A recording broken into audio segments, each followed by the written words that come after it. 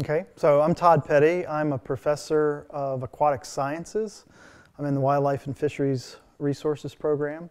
I teach classes in freshwater. You know, the atmosphere in Charleston, as far as people who did not have direct access to, to well water or other immediately available supplies, but was mixed. So we didn't have a lot of information from the scientific community to start with to, to know you know, what are the effects? What are the potential hazards?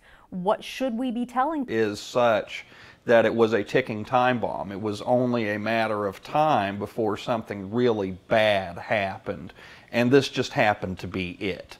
Water, water sensor technology is, is there's good technology for measuring things in the water, but the way we network that information together and then